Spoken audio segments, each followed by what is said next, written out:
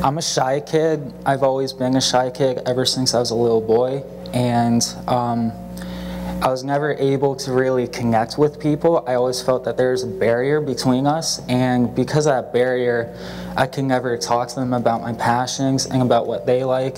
And so I would isolate myself. I would stay inside and I would watch TV and movies. And because of isolationism, because of me staying inside and watching those things, I was able to connect with the people in those TV shows and movies and with the messages they were bringing and the experiences they were having.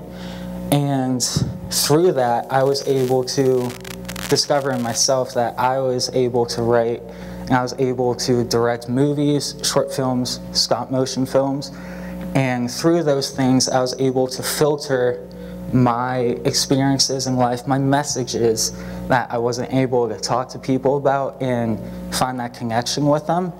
And whenever I would create those things, I would give them out to people, I would put them online, I would show my family, and I would show people all around that I would meet just to have that as a buffer through that barrier so I could show them that piece of work and they could look and they could see a message I was bringing to them and an experience I was giving them about myself and they were able to have an insight into my life so that once we would start to talk, they would already know stuff about me. So I wouldn't have to introduce myself through that way.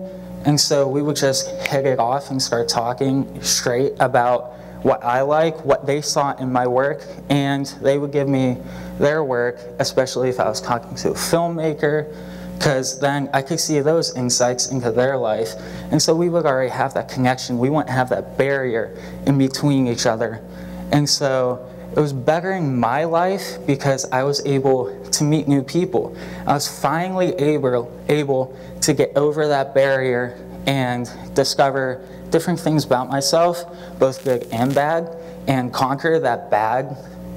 And I was able to discover new people and see different things from their point of view instead of just through mine, because everyone always looks through through their point of view because you're one person. You're not multiple people.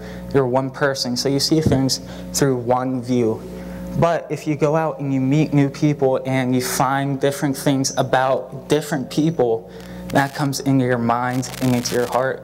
And so you're able to see different point of views and different ideas, and you're able to both create new things that can affect different people and affect different messages through the world. And you also have that backlash of other people making new things that you react to and they react to your things. And so you're able to have a conversation about all those different messages and experiences through your life. And I found that it's bettered my life.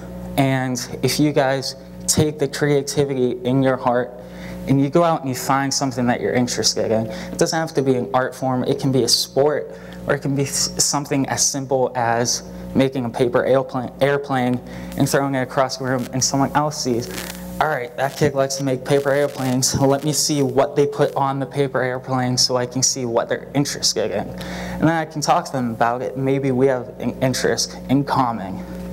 And if you guys take that and really use it for your life, you can better your life, you can better someone else's life, and it will make you a better person and everyone else a better person.